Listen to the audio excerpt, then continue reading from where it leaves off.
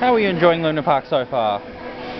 There's a lot of waiting. There's too much waiting. I don't like waiting. Jack and Tom, I had it.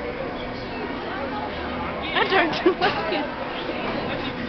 I don't like it. And there's too many people. I don't like people. Every time you every time you walk outside, you know, you run the risk of having to involve yourself with humans. Mm. Hate that.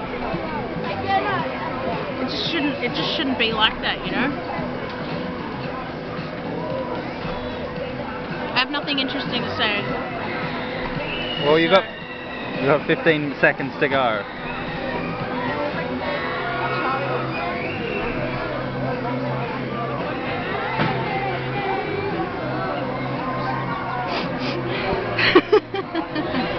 there you go, there's some content. Thank you.